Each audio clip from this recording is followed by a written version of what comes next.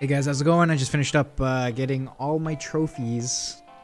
My trophies on uh, Dave the Diver. Uh, PS5. I wanted to go over some of the more difficult trophies to get. Uh, this one's for Strange Fish, which is Capture 5 Fishmon. Uh, the Fishmon are the, like, the weird looking fish. You'll, these get unlocked as you play throughout the game. Um, so, as you're going through the game, I'd recommend getting them. But if you haven't, it's not a big deal. I, li I literally caught the first like five fish, right?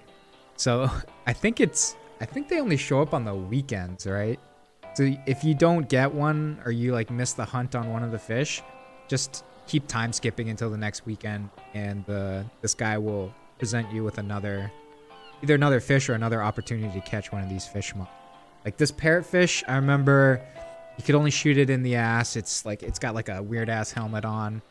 The jellyfish, I think, would vanish, and you would need... You need to shoot it from, like, far range with a sniper rifle. The ghost squid, you needed to use the UV flashlight to uh, be able to hit it with weapons. The trigger titanfish... Excuse me. The silver triggerfish uh, was only susceptible to lightning damage, I believe. And then the spotted moray eel is uh only shows up at nighttime, but I think you can just use any weapon to catch this. I don't think it really matters. I think I bopped it with the harpoon a bunch of times.